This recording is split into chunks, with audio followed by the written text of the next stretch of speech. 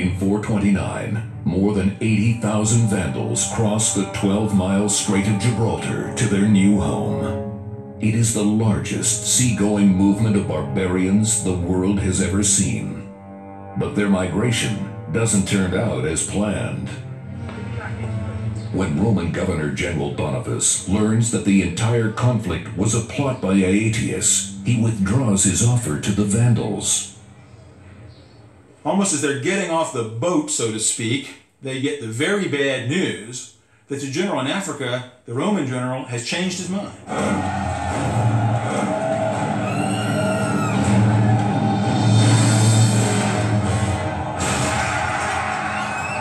The Vandals are not happy at having their invitation to North Africa canceled at the last minute. And they've got no place to go. All dressed up and no place to plunder.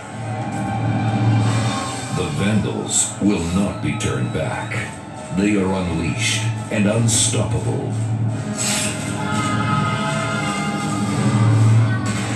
When the Vandals take over North Africa, that we're told that uh, they very quickly um, seized control, basically, of as much wealth as they possibly could.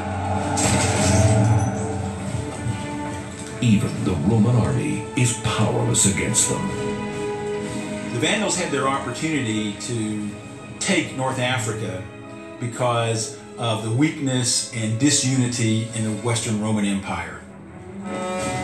As punishment for his scheming, Aetius has been stripped of his rank, triggering civil war. The Roman Empress Placidia sends what troops she can into North Africa to stop the marauding Vandals. But they are too little, too late. While the Western Empire tears itself apart in Europe, the Vandals gain a greater foothold in North Africa.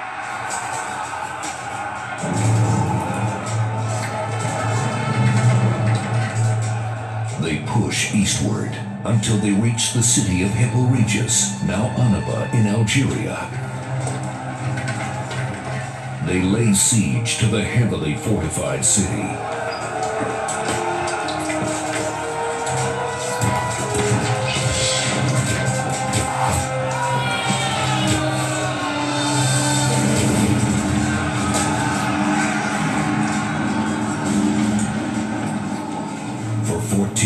14 agonizing months, the Vandals keep the city in a stranglehold, while Africa's grain fields go unharvested and the hunger pangs ripple across the empire.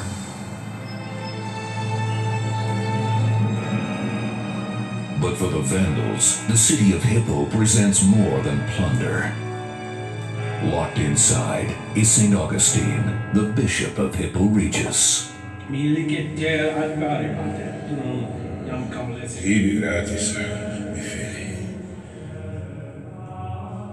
The most famous man in the church at the time of the Vandal invasion of North Africa is St. Augustine. There's no doubt about it. He has written tons. He's popular.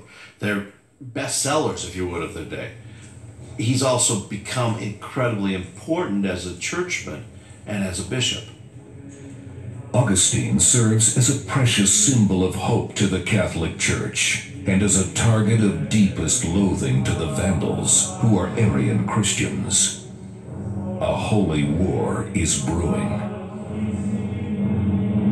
Christianity is not unified. Christians who come to be called Catholics believe that God, Jesus, and the Holy Spirit are equal and the same.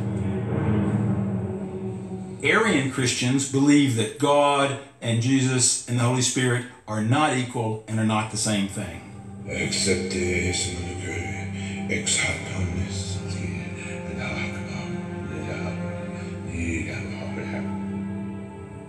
So they viewed the entire attack of Africa in some ways as a crusade. And Arianism was going to reign supreme. Augustine, aging and unwell, motivates his flock to defy the Vandal invaders and their heretical Arian beliefs. But within three months, his advanced age catches up with him. He dies, shaking the faith of his followers and giving strength to his enemies. Outside the walls of Hippo Regius, things couldn't be worse. The Roman army, depleted by civil war in Europe, is no match for the swelling Vandal ranks.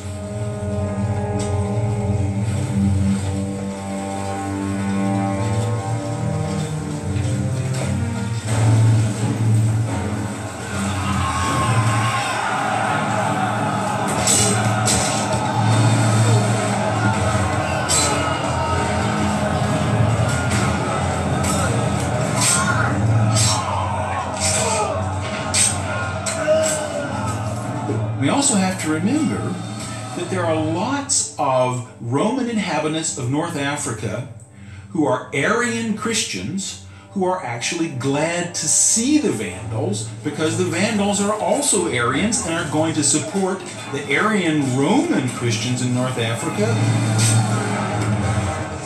The Vandals easily defeat the Imperial Army in Africa. In doing so, they transform from barbarian invaders to holy warriors, fighting for their Arian beliefs.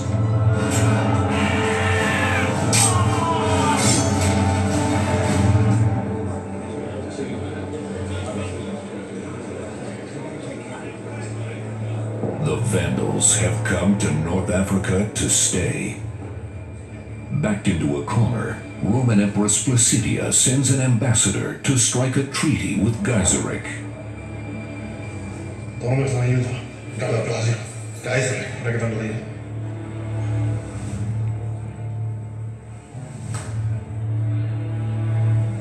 Quy tắc về mình In an act of good faith, Geiseric agrees to send his son Huneric to the western capital of Ravenna as a hostage of peace. Rome then surrenders the region around Hippo Regius to their new ally, the Vandals. But for the Catholics of North Africa, there shall be no peace.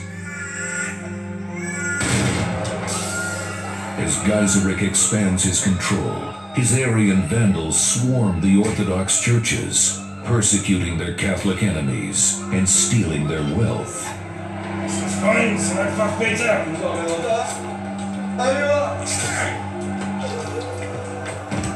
The Vandal were a warrior culture. Winning, taking other people's things was a way of life for those men, uh, and Geiseric was raised in that tradition. And Geiseric will keep taking. Within five years, his son Huneric is released from Ravenna, and Geiseric sets his sights on Carthage in modern day Tunisia. It is the wealthiest, most sophisticated city in North Africa. And Geiseric will make it his bloody gateway to the empire beyond.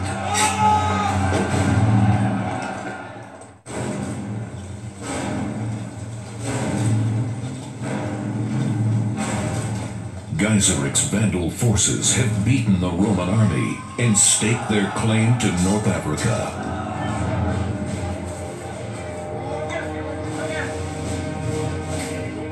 Now, Geiseric craves the very heart of North Africa, Carthage.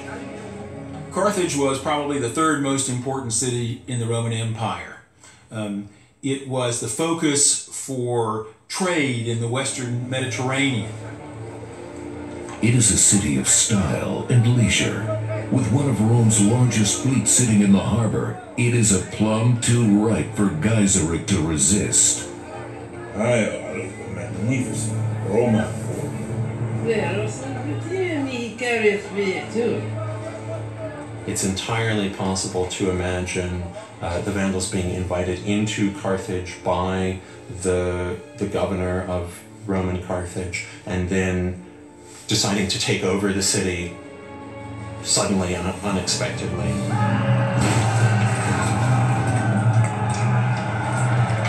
In a single day, the Vandal forces capture the unsuspecting Roman city and declare it their own. It was like cutting Chicago out of the heartland of America.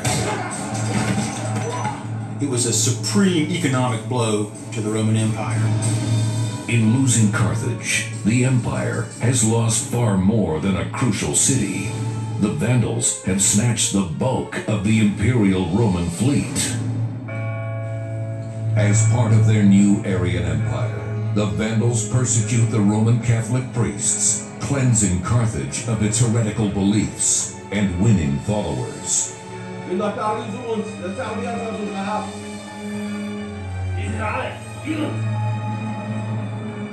Some Roman Christians said the Vandals were God's agent in purifying a sinful world by turning prostitutes into respectable married women, by suppressing homosexuality, by preventing adultery. Uh, the Vandals were doing God's work.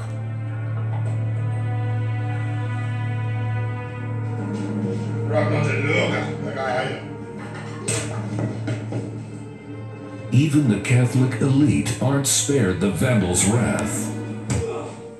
They are forced to surrender their cash and jewels to fund the Vandals' growing nation of Arians.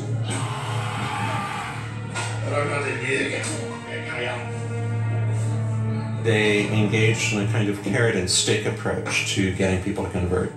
The stick was the persecution, torturing, um, execution.